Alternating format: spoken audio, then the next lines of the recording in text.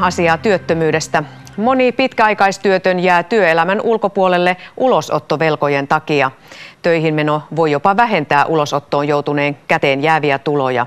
Ulosottoloukun purkaminen voisi helpottaa tuhansien pitkäaikaistyöttömien töihin paluuta. Helsingin työttömät palkkaa vuosittain kymmeniä pitkäaikaistyöttömiä yhdistyksen palvelukseen. Työelämään palaaminen tyssää usein ulosottovelkojen takia. Mielellään hän lähtisi niin kuin työelämään mukaan, mutta ei, ei välttämättä pysty. Tällaisessa taloudellisessa tilanteessa se on ihan ymmärrettävää. Vouti käy käsiksi pieniinkin tuloihin.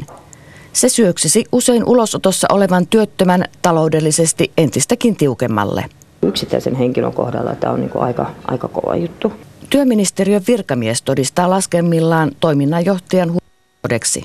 Siinä on todella paha ulosottoloukku sillä tavalla, että kun suojaosuus ulosotossa, josta ei ulosoteta, on vähän vajaa 700 euroa, niin siitä ylöspäin 1400 euroon asti ulosotto vie kaksi kolmannesta ja sitten kun verotus vielä lisääntyy, niin siinä menee suurin piirtein kolme neljäsosaa siitä tulonlisäyksestä.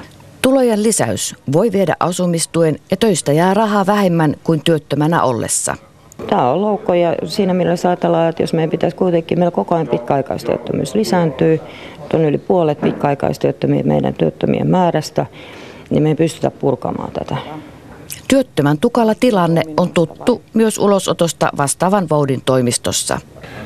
Usein kuitenkin työttömyys on, on siellä sitten taustana ja erityisesti pitkäaikaistyöttömyys, joka tekee velallisen taloudesta hauraan ja, ja, ja silloin alkaa helposti tulla sitten myöskin ulosottoasia. Ja Tiaisen mielestä asia pitäisi korjata pikaisesti.